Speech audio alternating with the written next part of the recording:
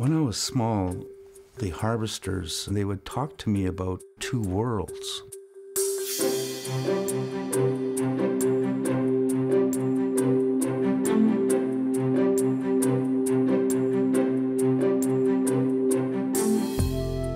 This is the Land Between in Ontario, Canada. The Land Between is a unique landscape known as an ecotone, where two iconic ecosystems, the Canadian Shield and the St. Lawrence Lowlands, collide.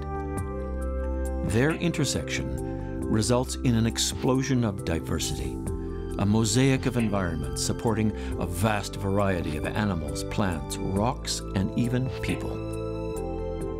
Geographically, we're almost in a neutral place of, of being. I've always called it a soul station. It's where you recharge your soul.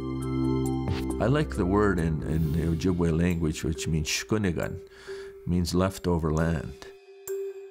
They pushed the settlers in as if it's like a war zone. You throw in the troops, the settlers, into the land between. Some survive, and others are casualties. It separates cultures, and yet it's not a line that is discernibly dividing. It is a mosaic. It incorporates bits and pieces of each other. It's what we are as a culture, really. It's come to me as a surprise, but such a delight to know that what I feel about living in this place is actually something that extends from here right through the country and probably with which hundreds of thousands, if not millions of people have some sort of innate knowledge.